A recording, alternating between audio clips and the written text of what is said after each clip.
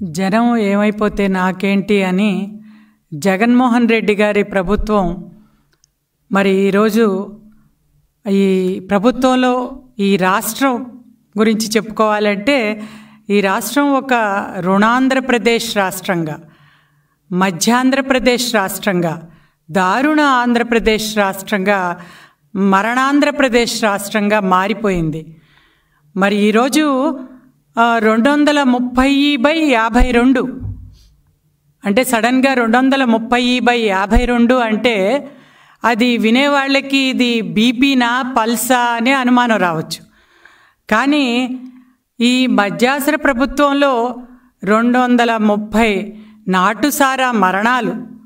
ఇది ప్రభుత్వం ఇచ్చిన గణాంకాల సంఖ్య. మరి అంతేకాకుండా శానిటైజర్ తాగి మరణించిన వారి సంఖ్య యాభై రెండు. మరి ఈ రకంగా మరి మన ఈ అయ్యగారి ప్రభుత్వంలో ఈ ప్రభుత్వం ఇచ్చే బ్రాండ్లు తాగి ఎంతమంది మరి కిడ్నీలు అదేవిధంగా లివర్లు గుండె పాడు చేసుకుని వాళ్ళ సంఖ్య కోకొల్లలు. మనం చెప్పాల్సిన అవసరం లేదు. మరి ఈ రోజున కరోనాలో ప్రజల కొనుగోలు శక్తి తగ్గిపోయి ఈరోజు వాళ్ళు ఏం చేయాలో తోచక తమకున్న కొద్దిపాటి ఆదాయంతో తమ బిడ్డల కడుపు నింపుకోవటానికి అష్టకష్టాలు పడతా ఉంటే మద్యం రేట్లని ఈ రోజున అధికంగా పెంచి మద్యం రేట్లను అధికంగా పెంచి తమ సంసారంలో ఈ రోజున ఉన్న సంపాదన మొత్తం కూడా మద్యం దుకాణాలకు వెళ్ళిపోయి ఆ బిడ్డల కడుపు నింపలేక ఆ తల్లులు పడిన మనోవేదన వర్ణనాతీతం కరోనా సమయంలో. మరి ఇది ఎవరికి అర్థమవుతుంది? ప్రభుత్వానికి? మరి అదేవిధంగా వైపీసీ వైసీపీ వాడికి అర్థమవుతుందా అని చెప్పి మేము ప్రశ్నిస్తూ ఉన్నాం. మరి అంతేకాకుండా ఈరోజు సంపూర్ణ మద్యపాన నిషేధం దశల వారీగా నిషేధం దశల వారీగా మద్యపాన నిషేధాన్ని విధిస్తానని మేనిఫెస్టోలో ప్రకటించి వచ్చిన జగన్మోహన్ రెడ్డి గారు మరి నిజంగానే మద్యపాన నిషేధం చేశారనే నేను చెప్తాను. ఎలాగంటే నాణ్యమైన మద్యాన్ని నిషేధించారు. నాణ్యమైన మద్యాన్ని నిషేధించారు దశలవారీగా. దశలవారీగా ఆ స్థానంలో కల్తీ సారాల్ని అదేవిధంగా కల్తీ బ్రాండ్లని తీసుకొచ్చి ఇవాళ తమ బొక్కసాల్ని నింపుకోవటం అనేది చాలా దారుణం. మరి అంతేకాకుండా ఈ నాణ్యత లేని మందు నాడీ మండలం మీద రకరకాల ప్రభావాన్ని చూపి ఈ రోజున వారి ఆరోగ్య పరిస్థితి చూస్తే వారి భార్యలు వారి మరి ఈ రోజున ఆ కుటుంబాలు ఏమైపోతాయని చెప్పి ఆలోచిస్తూ ఉంటే చాలా బాధ కలుగుతూ ఉంటుంది. ఈ రోజున మరి ఆ అదుపులేని పాలన అదుపులేని ఒకవైపున ఈ పిచ్చి కల్తీ సారా తాగటం అంతేకాకుండా ప్రభుత్వం అందించే రకరకాల బ్రాండ్లను తాగటం మూలంగా ఆరోగ్యం పాడవటమే కాకుండా ఈ పాలనలో తేడాతో వాళ్ళ ఈరోజు మొత్తం ధరలన్నీ పెరిగిపోయి పిడుగుపాటుల ఇవాళ ఉరుములు పిడుగులు అన్నట్లుగా ఆ కుటుంబాన్ని ఆ పిల్లల్ని సాకలేక ఆ మహిళలు పడే మనోవేదన వాళ్ళు ఎన్ని రకాలుగా బాధపడుతున్నారో మనందరం కూడా చూస్తున్నాం. అయినా కూడా ఈ రోజున ఈ ప్రభుత్వం ఈ యంత్రాంగాన్ని అత్యున్నత యంత్రాంగాన్ని కూడా ఈ మందు పద్దు కోసం వినియోగించటం అనేది చాలా దారుణం అని చెప్పి మరి తెలియజేస్తూ ఇంకా వాళ్ళు చుక్కయ్యకపోతే జీతాల లెక్కయ్యలేము అనే ఒక నీచమైన జీతాల లెక్కల్ని ఆదాయపు లెక్కల్ని మాట్లాడుతూ ఉంటే చాలా బాధ కలుగుతూ ఉంటుంది. అదేవిధంగా మరి ఒక మన అమ్మఒడి అదే ఎన్నో సంక్షేమ కార్యక్రమాలు ఇస్తామని చెప్తున్నారు. సంక్షేమ కార్యక్రమాలు అంటే ఆ రోజున కూడా సంక్షేమ కార్యక్రమాలు చంద్రబాబు గారి ప్రభుత్వంలో మరి ఒక కియా కార్ల కంపెనీ కానివ్వండి అశోక్ లేలాండ్ కానివ్వండి ఇక్కడ హెచ్సిఎల్ కానివ్వండి అన్ని రాష్ట్రంలో ఉన్న నలుమూలల అభివృద్ధి చేసి మరొక వైపున అమరావతి రాజధానిగా అభివృద్ధి చేసి నాలుగు లక్షల కోట్ల ఆదాయాన్ని ఇచ్చే అమరావతిని ఈ రోజున భ్రష్టు పట్టించి సర్వనాశనం చేసి అభివృద్ధి అంటే అది అనేది పక్కన పెట్టి అభివృద్ధికి అర్థం మార్చి ఈరోజు సంక్షేమ పథకాలని ఈ రకంగా అంటే మీరు తాగితేనే మరి ఒక్కొక్కరి రక్తపు బొట్టు ఈ రోజున వా- దాన్ని మద్యంగా మార్చితేనే మేము అందించగలం అనే తీరు అనేది ఈ రోజున ప్రతి ఒక్క మహిళ కూడా ఖండించాల్సిన అవసరం ఉంది. మరి అంతేకాకుండా మద్యపాన నిషేధం సంపూర్ణ మద్యపాన నిషేధం దశలవారీ మద్యపాన నిషేధం అని చెప్పిన మరి వైసీపీ ప్రభుత్వం అధికారంలోకి వచ్చారు. నిజంగా ప్రజలంతా కూడా దాన్ని నమ్మారు.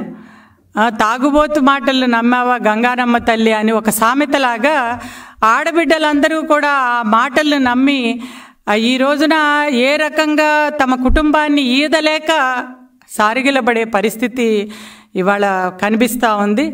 మరి అంతేకాకుండా పదిహేను సంవత్సరాల ఆదాయాన్ని కూడా తాకట్టు పెట్టి ఇప్పటికే ఇరవై ఐదు వేల కోట్ల అప్పు తీసుకురావటం జరిగింది. అది కూడా చాలక మరి నిన్నగాక మొన్న మనందరం కూడా చూస్తూ ఉన్నాం. సంపూర్ణ మద్యపాన నిషేధమే కాదు పాక్షిక మద్యపాన నిషేధాన్ని కూడా మేము విధించమని చెప్పి ఆ బాండ్ల మీద సంతకాలు పెట్టి ఇవాళ ఎనిమిది వేల కోట్లు తీసుకొచ్చిన పరిస్థితి.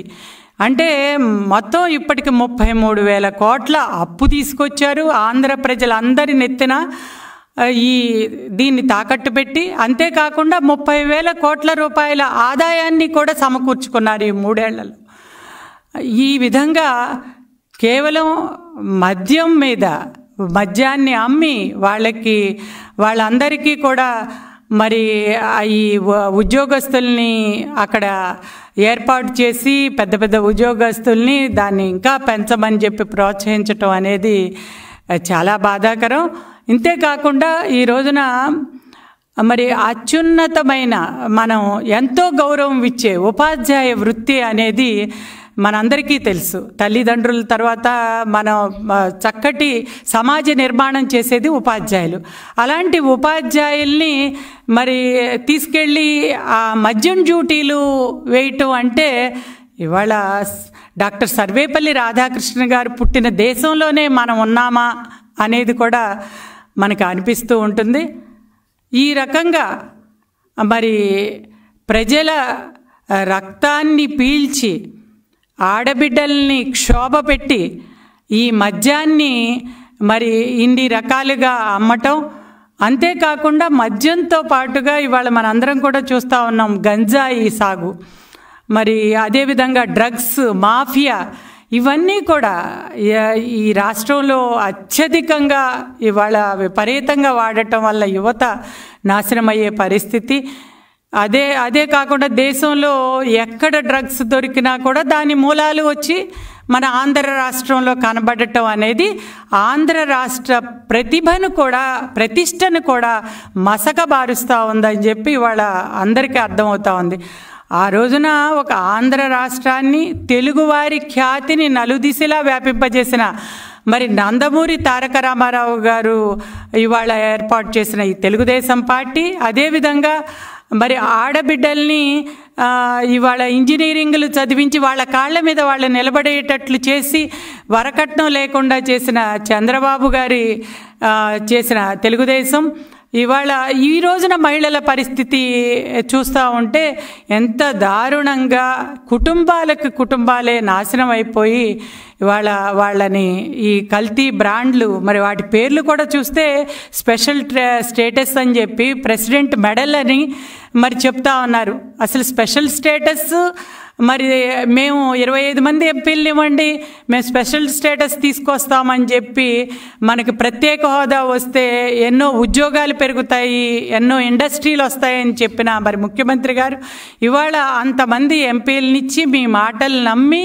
ఇవాళ ఇంతమందిని గెలిపిస్తే ఈ రోజున కేవలం మనకిచ్చింది మాత్రం మద్యం బ్రాండ్ల మీద స్పెషల్ స్టేటస్ ప్రెసిడెంట్ మెడల్.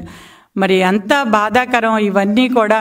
కాబట్టి ఇవాళ మీరు ఇప్పటికైనా మహిళలు అందరికీ కూడా ఇవాళ అర్థమయ్యింది ఇన్ని లక్షల కోట్ల అప్పు తీసుకురావటం మీ బొక్కసాలు నింపుకోవటానికే ఈ మద్యాన్ని ఇవాళ మరి వారి భర్తల మీద వారి బిడ్డలకి వాళ్ళ వాళ్ళకి అలవాటు చేసి ఇవాళ సంక్షేమ కార్యక్రమాల పేరిట మాయ చేసి మబ్బులో పెట్టడం వల్ల వాళ్ళ జీవితాలు ఎంత నాశనం అయిపోతున్నాయో ఈ రోజున ప్రతి ఒక్క మహిళకి కూడా వాళ్ళకి అర్థమవుతూ ఉంది. కాబట్టి మీరు ఇప్పటికైనా ఇప్పటికైనా ఈ కల్తీ బ్రాండ్లు ఈ మద్యం రేట్లు ఇవన్నీ కూడా మరి మద్యం రేట్లు తగ్గించాలి. అదేవిధంగా నాసి రకం బ్రాండ్లు క్వాలిటీ లేని బ్రాండ్లు ఈ రోజున మీరందరూ కూడా నిషేధించి మీరు ఏదైతే అన్నారో సంపూర్ణ మద్యపాన నిషేధాన్ని పాక్షికగా మ- పాక్షిక మద్యపాన నిషేధం కూడా మేము చెయ్యం అని చెప్పి మీరు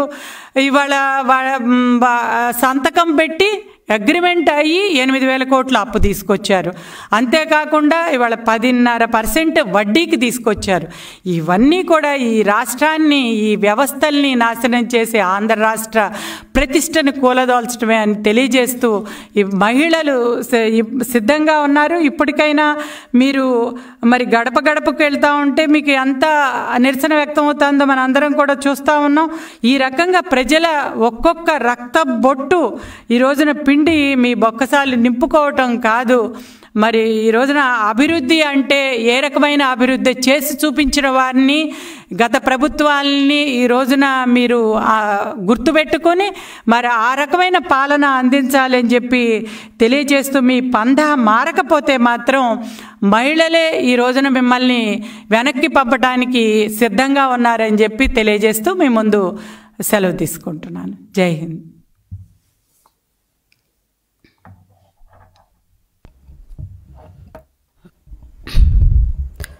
అందరికీ నమస్కారం. ఈ రాష్ట్ర ముఖ్యమంత్రి మధ్యమోహన్ రెడ్డి గారు మద్యపాన నిషేధం చేయండి అని చెప్పి ఈ రాష్ట్రంలో ఉన్నటువంటి మహిళలందరూ కూడా వేడుకుంటా ఉన్నారు. నిజంగా ఈ ముఖ్యమంత్రి జగన్మోహన్ రెడ్డి గారి గురించి ఇంతకన్నా ఎక్కువ ఎక్స్పెక్ట్ చేసుకోవడం అనేది తప్పు. ఎందుకంటే తను అధికారంలో రావడం కోసం సొంత బాబాయినే చంపి సొంత చిన్నమ్మ తాలిబొట్లు తెంపినటువంటి వ్యక్తి ఈ రాష్ట్రంలో మహిళల యొక్క తాలిబొట్లు తెంపడు అనడానికి ఎటువంటి సందేహం లేదు. ఎందుకంటే నిజంగా బుద్ధున్నోడు ఎవడన్నా మాట్లాడతాడా? ఎన్నికల ముందు ఏం చెప్పారు మేము?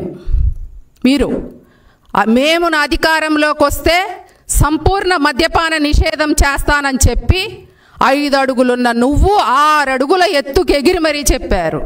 ఏమైపోయింది మీ మాటలు ఈరోజు? ఎక్కడుంది సంపూర్ణ మద్యపాన నిషేధం? సంపూర్ణ మద్యపాన నిషేధం చెయ్యపోగా ఈరోజు టార్గెట్లు పెట్టి టార్గెట్లు పెట్టి మద్యం షాపుల ముందు మద్యాన్ని సేల్ చేస్తున్నటువంటి పరిస్థితి. ఈరోజు ఆంధ్రప్రదేశ్లో పరిస్థితి ఎలా ఉంది అంటే అశ్వమేధ యాగం చేయటం అన్నా చాలా ఈజీ. కానీ ఆంధ్రప్రదేశ్లో మద్యం కొనాలంటే చుక్కలు చూసేటువంటి పరిస్థితి ఈరోజు ఆంధ్రప్రదేశ్లో కనపడతా ఉంది.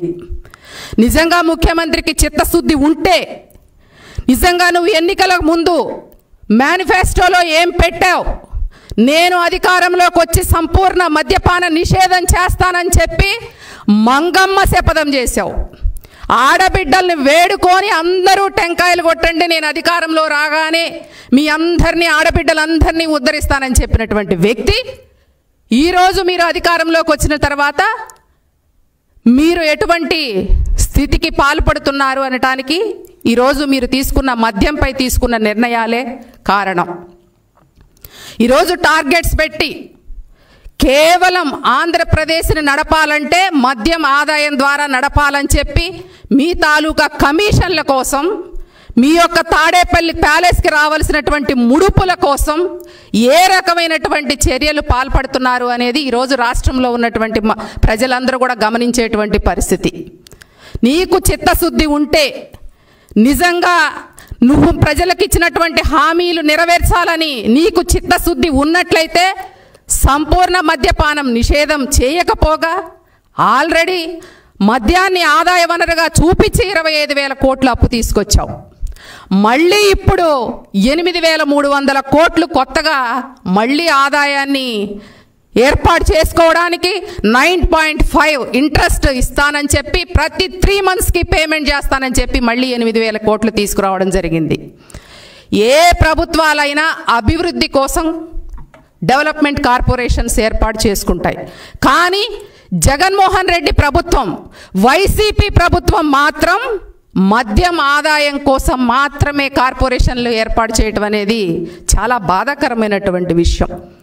గతంలో చంద్రబాబు నాయుడు గారు అమరావతి అభివృద్ధి కోసం రెండు వేల కోట్లు బాండ్లు తీసుకొచ్చి డెవలప్ చేస్తే ఈరోజు జగన్మోహన్ రెడ్డి మద్యాన్ని ఆదాయం చేసుకోవడం కోసం మద్యం ద్వారా ముప్పై మూడు వేల కోట్లు తీసుకొచ్చి కార్పొరేషన్కి ఏర్పాటు చేయటం అనేది నిజంగా ప్రజలందరూ సిగ్గుపడుతున్నారు. మీరు చేస్తున్నటువంటి పనులు చూసి. నీకు మహిళలంటే చిత్తశుద్ధి ఉందా? మాది మహిళా సంక్షేమం అని చెప్తారు మీరు. నేను మహిళా పక్షపాతినని చెప్తావు జగన్మోహన్ రెడ్డి. నీకు మహిళల సంక్షేమం పట్ల ఇంతమంది బడుగు బలహీన వర్గాల అట్టడుగు వర్గాల మహిళలు మాన ప్రాణాలతో ఆడుకుంటున్నావంటే నువ్వు చిత్తశుద్ధి ఉన్నటువంటి ముఖ్యమంత్రివా. నిజంగా సిగ్గుండాలి. అమ్మ భారతీరెడ్డి గారు ఎక్కడున్నారు? ఎన్నికల ముందు నీ భర్త నిలబడినప్పుడు మీరు ఊరూరా తిరిగి క్యాంపెయినింగ్ చేశారు. జగనన్నను అధికారంలో తీసుకురండి మద్యపాన నిషేధం చేస్తాం. జగనన్నని అధికారంలో తీసుకురండి మేనమామలాగా అమ్మఒడి ఇప్పిస్తామని చెప్పేసి. అమ్మ భారతీరెడ్డి నీదే కాదమ్మా తాళిబొట్లు. ఈరోజు చూడండి ఎంతమంది పేదల తాలిబొట్లు పేద మహిళల తాలిబొట్లతో మీరు ఆడుకుంటా ఉన్నారనేది నీ భర్త. ఎంతమంది మహిళల మాన ప్రాణాలను తాకట్టు పెట్టి ఎంతమంది తాలిబొట్లు తెంచుతున్నారు అనే దానికి మీరు ఒకసారి తాడేపల్లి ప్యాలెస్ నుంచి బయటకు వచ్చి చూడాలమ్మా. మీరు ఇరవై నాలుగు గంటలు తాడేపల్లి ప్యాలెస్లో విదేశీ యాత్రలో కాదు. మీరు ఒక పత్రికను నడుపుతున్నారు. మీకు ఒక సామాజిక బాధ్యత ఉంటుంది భారతిరెడ్డి గారు. ఈరోజు ఆంధ్రప్రదేశ్లో ఉన్న మహిళలకు మీరు ఏం సమాధానం చెప్తారు? అలాగే ఆ రోజు ఒక్క ఛాన్స్ ఇవ్వండి నా బిడ్డకని చెప్పి విజయమ్మ గారు వచ్చారు. మీ అందరినీ ఉద్ధరిస్తాడు నా కొడుకు. ఒక్క ఛాన్స్ ఇవ్వండి అని చెప్పి అధికారంలోకి వచ్చిన తర్వాత ఈరోజు ఎటువంటి చర్యలకు పాల్పడుతున్నారు? మీరిక్కడున్న ఆంధ్రప్రదేశ్లో ఉన్న మహిళలకు భారతీరెడ్డి కానీ విజయమ్మ కానీ షర్మిల కానీ సమాధానం చెప్పాలని మేము ఈ సందర్భంగా సవాల్ విసురుతా ఉన్నాము. నిజమ్మా భారతీరెడ్డి గారు కరెన్సీ కట్టలే చూసుకోమాకండమ్మా. ఆంధ్రప్రదేశ్లో ఉన్న మహిళల యొక్క మాన ప్రాణాల గురించి కూడా కొంచెం ఆలోచించండి. మీ తాలూకా మీ దగ్గర ఉన్నటువంటి క్యాబినెట్లో ఉన్న మంత్రులు ఎమ్మెల్యేలు సంక్షేమమే కాదమ్మా మహిళల సంక్షేమం అంటే. ఆంధ్రప్రదేశ్లో ఉన్నటువంటి మహిళలకు మీరు ఏ రకమైన సంక్షేమం ఇస్తున్నారు? ఆంధ్రప్రదేశ్లో ఉన్నటువంటి మహిళలకు మీరు ఏ రకమైనటువంటి భద్రత ఇస్తున్నారు? నిజంగా సిగ్గుండాలి. మద్యపాన నిషేధం చేస్తానని అన్ని- ఎన్నికల్లో చెప్పినటువంటి నువ్వు ఈరోజు అధికారంలోకి వచ్చిన తర్వాత అసలు ఉన్న బ్రాండ్లే తీసేసి మద్యపానం నిషేధం చేస్తానని చెప్పినటువంటి మీరు కొత్త బ్రాండ్లు తీసుకొచ్చి బూమ్ బూమ్ అంట ఇక్కడ రకరకాల పేర్లు old tiger Andhra gold boom boom AC black. ఏంటండి ఇవన్నీ? ఇవన్నీ ఎవరు తయారు చేస్తా ఉన్నారు? జగన్మోహన్ రెడ్డి గారు? మీ ఎంపీ మిథున్ రెడ్డి తాలూకా డిస్లర్లీ నుంచి తయారైనటువంటి మందును తీసుకొచ్చి మందు షాపులకి ఇచ్చి అలాగే రెడ్డి ఫెడరేషన్ ద్వారా వచ్చినటువంటి ఇన్కంతో మీరు అక్కడ ఉన్నటువంటి అవుట్సోర్సింగ్ ఉద్యోగులకు జీతాలు ఇచ్చి ఆంధ్రప్రదేశ్ని ఎటు తీసుకెళ్తా ఉన్నారు మీరు? నిజంగా మీకు మద్యపానం పట్ల చిత్తశుద్ధి ఉందా? ఈ పిచ్చి బ్రాండ్లు తాగి ఈ పిచ్చి బ్రాండ్లు తాగి ఎంతమంది యువకులు ప్రాణాలు కోల్పోయినటువంటి పరిస్థితి? ఎంతమంది చిన్న వయసులో విధవలైనటువంటి పరిస్థితి? ఎంతమంది బిడ్డలు అనాథలై రోడ్డు పాలైనటువంటి పరిస్థితి? కనీసం కనికరం ఉందా మీకు? తాడేపల్లి గూడెంలో నలభై మంది చనిపోతే కనీస బాధ్యత ఉందా? ఒక ముఖ్యమంత్రిగా పక్క నుండి ఒక్కరోజన్న మీరు వెళ్ళి వాళ్ళని పరామర్శించారా? సిగ్గు లేకుండా మా నాయకుడు చంద్రబాబు నాయుడు గారు వెళ్ళి పలకరిస్తే అక్కడ ఏమీ జరగలేదు. వీళ్ళే హడావుడి చేస్తున్నారని సిగ్గులేని మాట్లాడిన మాట్లాడినట్టు వ్యక్తి జగన్మోహన్ రెడ్డి. మీరా చెప్పేది? సాక్షాత్తు మీ స్పీకర్ తమ్మినేని సీతారాం గారు చెప్పారు. ఆంధ్రప్రదేశ్లో నాటుసారా లిక్కర్ ఏరులై పారుతా ఉందని. ఈరోజు రండి ప్రజల్లోకి రండి. మీరు గడప గడపకు వైఎస్ఆర్ అని తిరుగుతూ ఉన్నారు. గడప గడప చెప్పులు చీపుర్లు తీసుకొని మీకు స్వాగతం పలుకుతా ఉన్నారు. మీ వాలంటీర్లతో మీ కార్యకర్తలతో చీప్ లిక్కర్స్ అమ్మిస్తూ నాటుసార కాయిస్తూ దాని ద్వారా కోట్ల రూపాయలు నీ మీ యొక్క అనుచరులు కూడా దోచుకునేటువంటి పరిస్థితి ఈరోజు గ్రామాల్లో జరుగుతూ ఉంది. మీకు చిత్తశుద్ధి ఉందా? మీరు మహిళా సంక్షేమం గురించి మాట్లాడతారా? నిజంగా ఒకటే సూటిగా అడుగుతున్నాం జగన్మోహన్ రెడ్డి గారిని. నిజంగా నువ్వు మహిళా పక్షపాతివైతే నిజంగా నువ్వు ఎన్నికల్లో ఇచ్చిన మేనిఫెస్టోలో ఇచ్చిన అమలు నువ్వు నిరూపించి చెయ్యాలనుకుంటే ఈ రోజు నీకు దమ్ముంటే సంపూర్ణ మద్యపాన నిషేధాన్ని చేసి చూపించి ఆ సంతకం పెట్టు. ఆ రోజు ఈరోజు రాష్ట్రంలో పదివేల కోట్లు రా మద్యం ద్వారా ప్రతి సంవత్సరం ఆదాయం వస్తూ ఉందంటే అంటే మద్యపానం నిషేధం మీరు చేశారా? లేకపోతే చెయ్యలేదా?